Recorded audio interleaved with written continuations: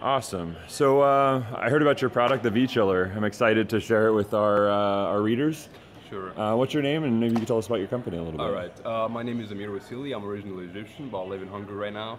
Uh, and I came up with this idea during a, a festival. I, I was uh, having trouble getting my beer cold, and I thought about let's get a let's buy a product like a normal fridge that I can go around this. Couldn't find any. Yeah. So I thought about going home and start looking to buy one. Couldn't. So I thought about how can we build one. Yeah. And I was watching a documentary about water doesn't like exist in a liquid state in space because it keep evaporating until it freezes. Yeah. And I thought about bringing the same concept back on Earth because we have very efficient vacuum pumps right now.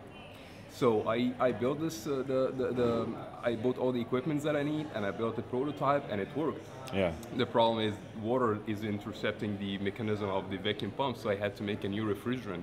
And this is one of the uh, biggest achievement and one of the trade secrets we're gonna have around for this product. Awesome, awesome. So the uh, the primary use case for this is with beverage chilling. Uh, this is our starting point because this is the easiest way to start because there is a huge need right now to find a replacement technology for the, the, the current because it's going to be banned anyways. Yeah. So we thought about starting at the uh, most important uh, or most needed uh, field right now.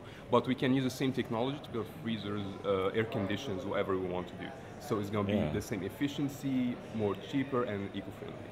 Right. So you mentioned efficiency. So what are, what are the efficiency savings with your product and your cooling technology versus a traditional refrigerator or air conditioner? Well, it's around 70% according to our uh, our uh, calculations because we use a very efficient technology, vacuum cooling. And second thing, we introduce on-demand cooling, so you don't need to run a fridge 24/7. You just cool your drink when you need it. So that's how we, we managed to get this kind of efficiency.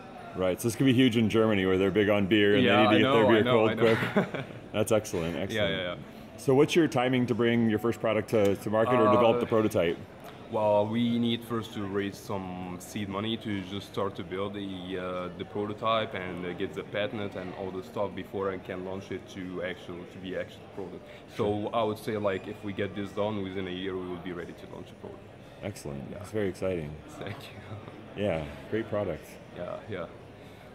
I don't know. Is there anything else you want to share about your company or? Oh well, it's not even a company. It's just like a, a concept right now. Or, Sure. uh, yeah, so we, we just started. We, we uh, figured this uh, out uh, like a year ago, and we came way further into developing the actual um, uh, refrigerant to, to reach this kind of efficiency.